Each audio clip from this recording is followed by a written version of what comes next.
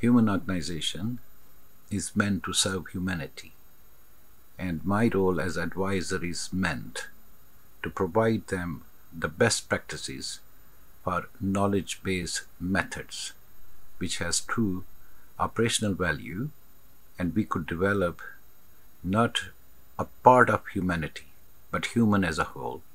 A human with food is one thing housing education.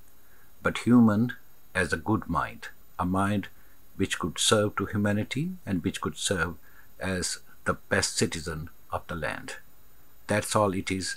If we follow up this rule, which I'm trying to explain, that human cognition is most important to give them a good comfort so they could be away, they could be separated from their cognitive dissonance to provide peace to the country, to the world, to the nations, to the family, to the community.